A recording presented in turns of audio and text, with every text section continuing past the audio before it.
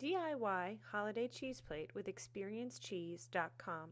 It all starts with the plate. For 6 to 12 people, you use serving size platters like this. And for larger groups of 18 to 25, use something big like this tray. Next, add some greenery from your holiday tree and some twinkle lights, which are sure to add a little extra festivity. Next, you're going to add plates, one for each cheese, just to keep them separate and away from the pine.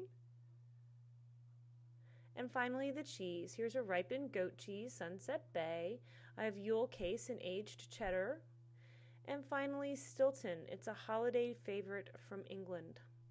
Add some nuts, like these candied almonds, or spicy pecans, or chutney. I have recipes available and fruit as a great colorful addition as well. And then finally, just some ornaments that add some little extra sparkle. There it is, your holiday cheese tray waiting for your guests to enjoy and indulge and savor fine cheeses.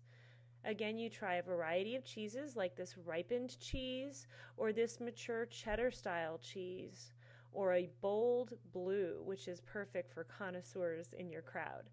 So post your cheese trays to experiencecheese.com and sign up so you don't miss one tasty edition.